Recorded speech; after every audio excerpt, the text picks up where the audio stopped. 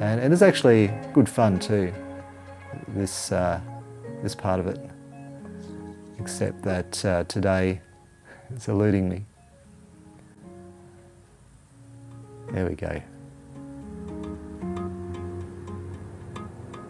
So that's floating about 10 millimeters off the base there.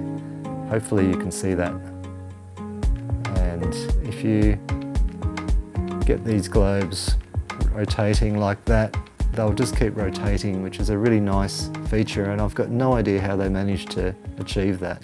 And we've got a larger globe which floats above a different base. The base is actually designed to look like, a, very realistically, like a book. So this large globe is just hovering above a book, which is uh, a really nice effect. Um, but they both essentially operate the same way.